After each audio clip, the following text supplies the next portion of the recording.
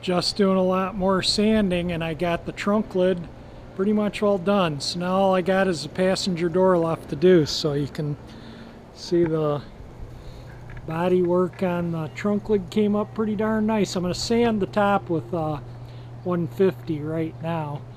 And then maybe tomorrow, if it's nice, shoot some paint on the underside. Really, really does look good. I don't know if it, it's hard to see with the camera, but it looks and feels amazing. I kind of go over it with 150 with the air file, so if there's any little dimples or any, you know, uh, irregularities, door dings or anything, they show up. It's windy out, so hopefully the wind doesn't uh, mess up the video too much.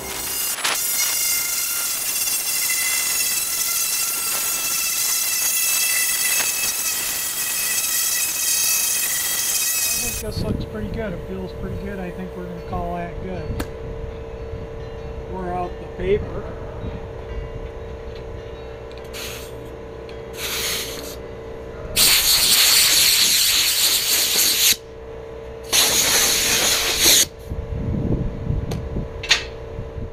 Basically paint ready. So tomorrow I'm going to give all this, all the primer, I'm going to give a light sand on this side and then I'll mask just around the edges of the lid and you know all the way around so I don't get overspray on the other side and I'm going to paint the inner side tomorrow hopefully. This is tomorrow and I got the trunk lid all masked and scuffed out and ready to shoot a coat of paint on so I'm going to start mixing it up and get it done. The joy of mixing paint.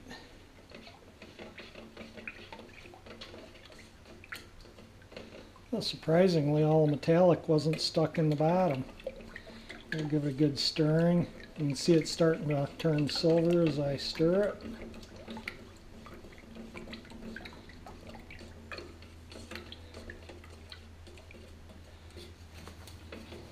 I measured out a jar I'm going to use, so I put in eight parts of paint to three parts of reducer to one part of hardener.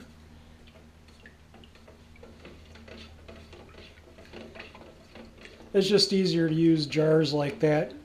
It's, you know, when I'm doing jambs and things like that, I just kind of use jars and do it this way. Yeah, I looked at the jar and I thought, oh, my math has got to be wrong because that was just way too much reducer. And it was, I put in an inch and a half of paint in and I was thinking I was putting two inches of paint in.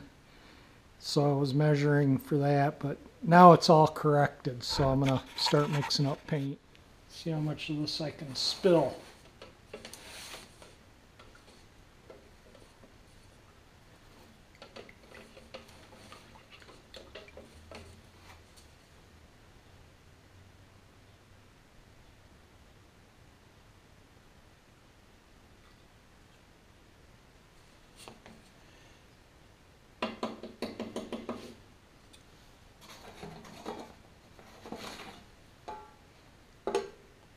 Do not use your same stick that you use in the gallon of paint to mix your paint and then put it, put it back in your gallon and you have hardener on this, you'll ruin your gallon of paint.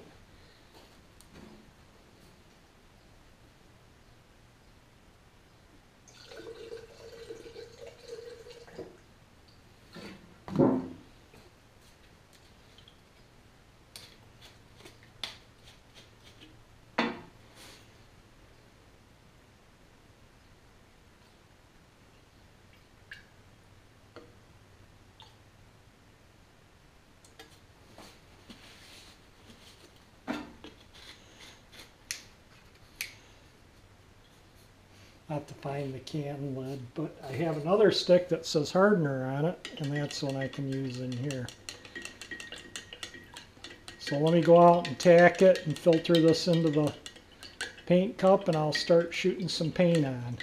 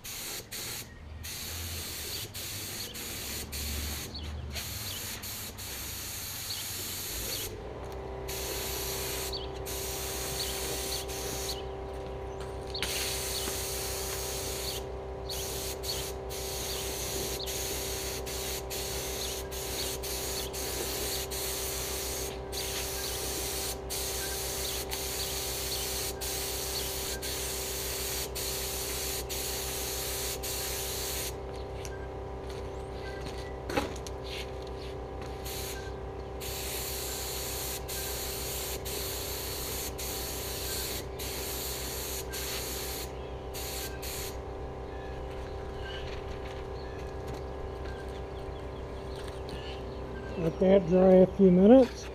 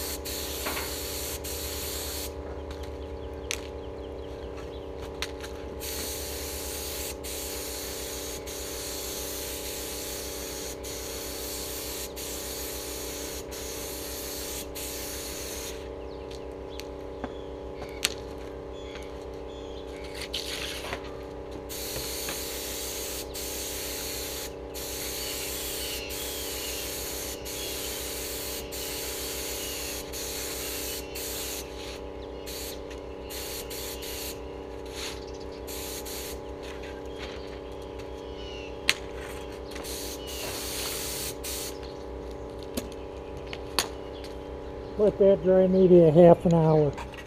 That's what you've seen me spray so far. I'm gonna put one more coat on it and call it good. Those that was like a ultra thin tack and then you know and I sprayed it this way across to the center and then that way across to the center and then I sprayed it from this way and that way that way you get all these edges you know and I try and spray it back this way too to you know just to kind of make sure I get all the edges on it.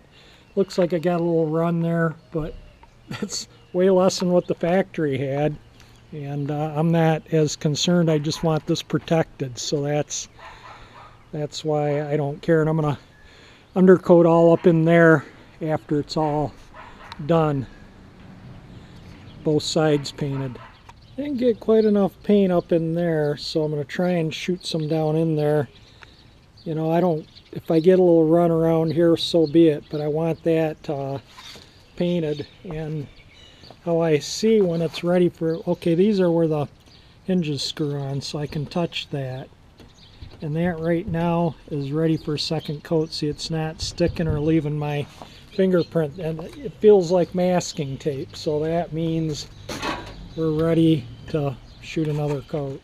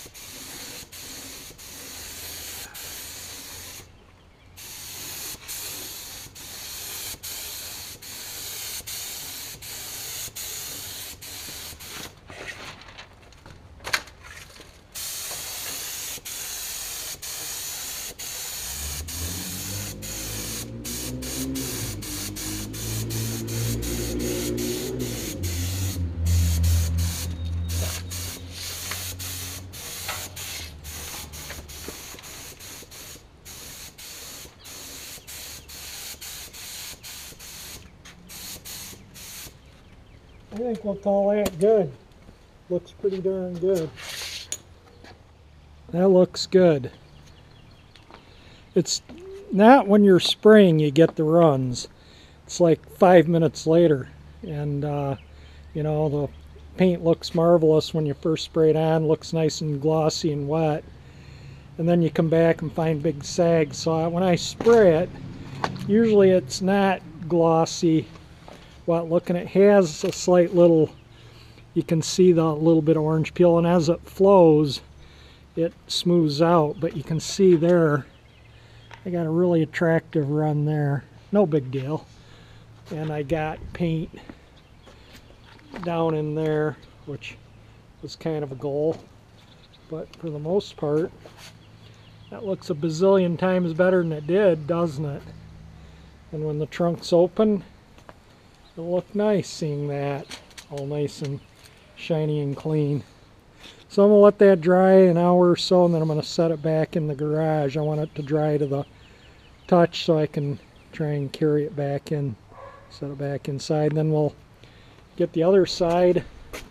This side's actually ready to sand and prime. So maybe I'll pull a tape off here shortly too. For now I'm just going to leave it on. But that side is ready to sand out and red oxide and get paint on the trunk lid too. Ah, it came out fantastic. Super happy with it. See how when I, let me show you here. See how when I touch that, see how I leave a fingerprint? It's still a little, little on the tacky side if, if it were going to have another coat. Um, maybe another five minutes and then it would be ready for another coat if I was going to give it another one. But I don't think you could ask for a better. I hope the rest of the car turns out as good. I don't know why I get the jambs turn out much nicer for some reason than the body paint. Maybe because I am a little more liberal and not caring if I get a little minor run or two. I think I'm going to throw this in the bead blast cabinet so I can paint this when I paint the you know the skin of the quarter panels. I don't want that to be painted separate from this. I want to paint this same time as these. So here's a really common issue I find with gas doors on cars is they're really, you know, light duty. And this one got a little crease around it in here. So I've been working on bumping it, but you can see it's still in there. So I'm going to work that out. Try What I've been doing is putting my dolly here and tapping this out. I think uh, tap that in a fair amount. Feels like it might still be a little high. I might tap that down a little bit more, but gas doors are common. So after I bead blasted it, I took some 320 on my rubber block and just kind of did this. And that way you can see your imperfections in the model clearly. And then I can work on it and then sand as I work on it until I don't see it anymore.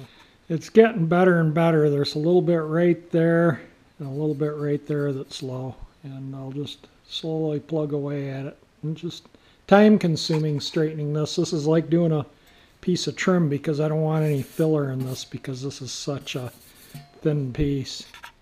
I got this all cleaned up. So after I bead blasted, I was 320 sanding it, and that's when I noticed that that high spot. I believe it was right right in here. I don't know. It was high right in here and kind of low down in here. It was.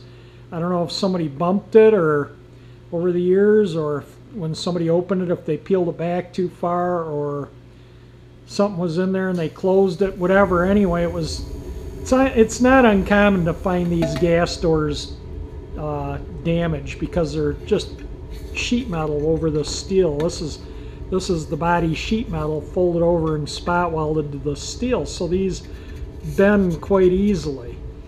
But uh, I noticed that it had a little crack in the sheet metal right here, and this is right exactly where that crease came around.